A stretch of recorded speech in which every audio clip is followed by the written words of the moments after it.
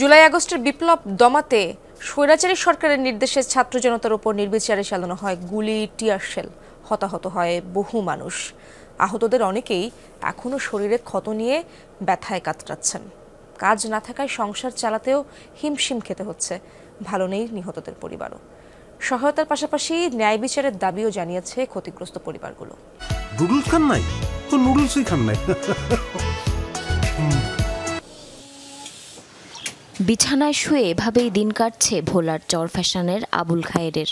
উত্তাল জুলাইয়ে চট্টগ্রামে গুলিবিদ্ধ হন তিনি। সেই থেকে চার দেয়ালে আটকা পড়েছে তার জীবন।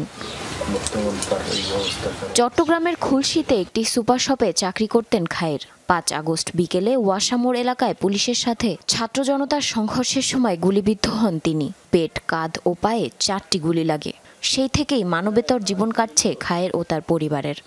আমার বাবার মনে করেন যে সচল না, যে আমাকে পাঁচ লাখ, দশ লাখ টাকা দিয়ে তারা হেল্প করবে। কিন্তু যে দুইটা অপারেশন আছে, এটা নিয়ে আমি খুবই চিন্তিত আছি। খুবই আমার ফ্যামিলিরও তারা ভাঙ্গা পড়তেছে, সেই দুইটা অপারেশন কীভাবে করবে? চার লাখ টাকা দানা বানা করিয়া মাইসেরে মানে হাসপাতাল ভর্তি করাইছি। এখন সরকার যদি কেন নেয় তাহলে আমার একটু সহযোগিতা হয়। রাজধানীর যাত্রাবাড়ি এলাকায় ভ্যান চালাতেন ভোলার জিন্নানগর ইউনিয়নের নূর হোসেন। পাঁচ আগস্ট দুপুরে রাস্তায় ভ্যান চালানোর সময় একটি বোমা এসে তার শরীরে লাগে। অপারেশন করে কেটে ফেলা হয় তার বাম হাতের কবজি। এরপর থেকে অচল অবস্থা তার পরিবারেও। আমি অনেক দাঁড় দানা করিয়া মানে নিজের ইয়েটে করার পরে চিকিৎসা চালাইছি। চালানোর পরে মায়েরার পড়াও বাদ দিয়ে দিছি ফুলানের পড়াও বাদ দিয়ে দিছি। আমরা সরকারের মাধ্যমে তো নেই কিছুই পাই না যদি পাইতাম তাহলে ধার দানা কিছু ঋণ শোধ করতাম। ভালো নেই ভোলা সদর উপজেলার রাজাপুর ইউনিয়নের আহত মোহাম্মদ খোকনো চার আগস্ট বিকেলে যাত্রাবাড়িতে গুলিবিদ্ধ হন তিনি। টাকার অভাবে হচ্ছে না উন্নত চিকিৎসা। আর দীর্ঘদিন ধরে অসুস্থ হওয়ায় হারিয়েছেন চাকরিও।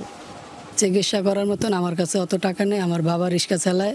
ওই যদি চাকরি করতে পারতো তো আমার সংসারটা খুব একটু ভালোই চলতো। অনেক সংসারও খুব একটু অনেক কষ্টে চলতে আছি। ভোলার জেলা প্রশাসক জানান আহত নিহতদের একটি প্রাথমিক তালিকা তৈরি করা হয়েছে। সরকারি নির্দেশনা পেলে চূড়ান্ত তালিকার মাধ্যমে সহায়তার আশ্বাস দেন তিনি। সরকার নির্দেশনা দিলে আমরা তালিকা করব। সেই অনুযায়ী তখন আমরা ব্যবস্থা নিব। এটা যখন সম্পন্ন হবে যারা আমরা চিহ্নিত করব তখন আর্থিকভাবে সহায়তা চিকিৎসা সহায়তা এটা আমরা করার চেষ্টা করব। রাজধানীর বায়তুল মোকারম মার্কেটে কার্পেটের দোকানে কাজ করতেন পটুয়াখালীর বাউফলের মোহাম্মদ ইমরান হোসেন। পাঁচ আগস্ট বৈষম্য বিরোধী ছাত্র আন্দোলনে রাজধানীর যাত্রাবাড়িতে পুলিশের গুলিতে নিহত হন তিনি। পরিবারের উপার্জনক্ষম ব্যক্তিকে হারিয়ে দিশেহারা ইমরানের পরিবার। কি রাবারের গুল্লি কয় না কি গুল্লি কয় এও লাগছে?